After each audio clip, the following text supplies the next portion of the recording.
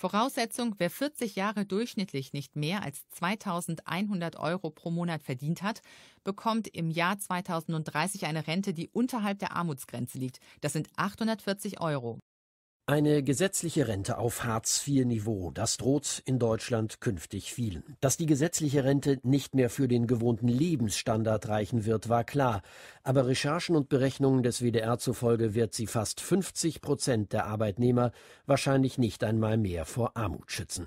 Entscheidender Grund dafür ist das schon seit langem sinkende Niveau der gesetzlichen Rente. Von 2030 an soll es auf bis zu 43,5 Prozent des Durchschnittslohns der gesamten Lebensarbeit Arbeitszeit fallen. Beschlossen hat das schon vor vielen Jahren die rot-grüne Bundesregierung von Gerhard Schröder. Durch die WDR-Berechnung werden nun Folgen erkennbar. Der Prognose liegt eine Betrachtung zugrunde, die sich auf den heutigen Arbeitsmarkt und die Verteilung der Bruttoeinkommen stützt. Wenn man annimmt, dass diese Verteilung in den nächsten Jahren weitgehend stabil bleibt, dann verdient heute ein Großteil der Beschäftigten zu wenig, um später eine höhere Rente zu bekommen.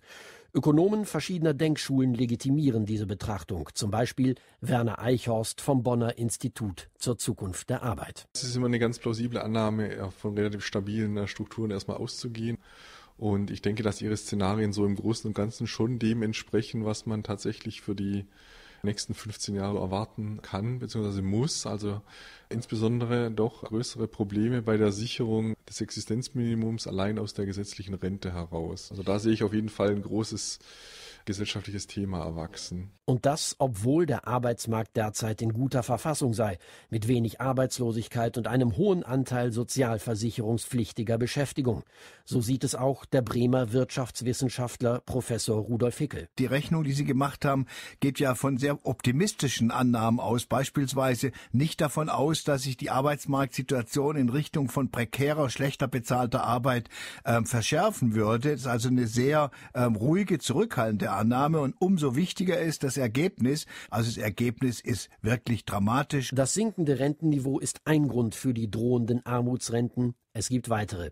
Niedrige Löhne, die hohe Zahl Teilzeitbeschäftigter sowie der wachsende Anteil von Minijobbern oder Solo-Selbstständigen am Arbeitsmarkt. In all diesen Gruppen ist das künftige Armutsrisiko im Alter den WDR-Berechnungen zufolge massiv. Daran ändert auch die staatlich geförderte private Altersvorsorge, genannt Riester-Rente, wenig. Denn wer wenig verdient, legt erfahrungsgemäß auch wenig auf die hohe Kante, Förderung hin oder her. Und tatsächlich sorgt nur ein Bruchteil aller Arbeitnehmer per Riester-Vertrag überhaupt privat fürs Alter vor.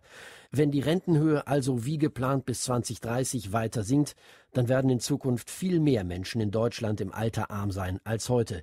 Denn nur wer 40 Jahre lang ohne Unterbrechung mindestens 2100 Euro brutto monatlich verdient, bekommt mehr als eine Rente auf Hartz-IV-Niveau.